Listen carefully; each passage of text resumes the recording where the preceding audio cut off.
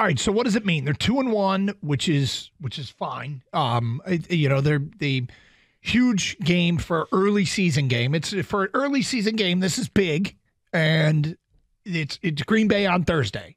Who came from seventeen nothing down, and look, New Orleans had the lead. They blew it. New Orleans had a very makeable field goal at the end. They missed it, and so, all right, Pack found a way. Give him credit for that. But this is an early season showdown for division supremacy. Chicago and Minnesota, I mean, at 0 3, they're not technically out of it, okay? But they they're really behind the eight ball, and maybe this thing comes down to Detroit and Green Bay, and we maybe we know that already.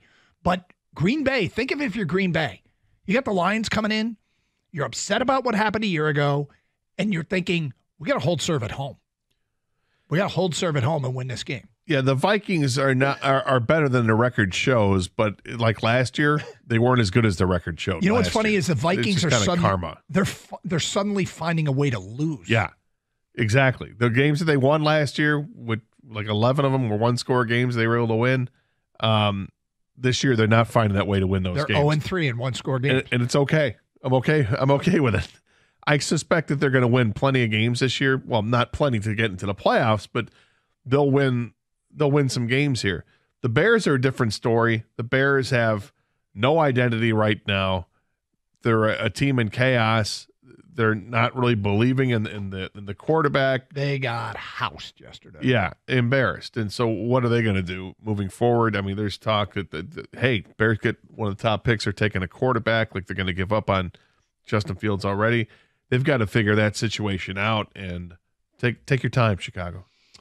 So then you take a, a zoom out a little further. The NFC, look, it's top heavy. I think you know you got Philadelphia and San Francisco at the top. They look every bit as strong as they were expected to be. Dallas took one on the chin yesterday. You don't oh. lose at Arizona, one would think. Dallas But maybe- looked like they were one of those teams, and then that happened. maybe Detroit, Dallas.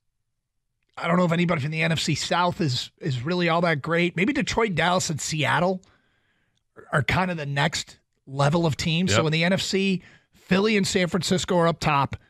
Detroit, Dallas, Seattle. Is that who's battling for to be the next challenger? Could be, could be. I mean, Green Bay. I guess we got to include Green Bay. But if Detroit wins this game Thursday, man, it's already short week. Feels feels like we're already at a Wednesday because I'm looking forward to that game and it's right around the corner Yeah. and it's a big one, man. It's a big one. Can't wait. I think we got a random tweet last uh, last week asking, "Have the Lions and Green Bay Lions and Green Bay will play twice this year, both on Thursdays? Has that ever happened before?" and I don't know. I suspect it hasn't, but I have no reason. You know, Lions don't get a ton of primetime games. Well, I'd rather play Green Bay at Lambeau in September than to take them on later in the season at Lambeau. Although the Lions handled them just fine because they year. struggled last year later in the season. No, well, typically it's a house of horrors for the Lions, but somehow the last few years they've been able to cobble together some wins over Green Bay.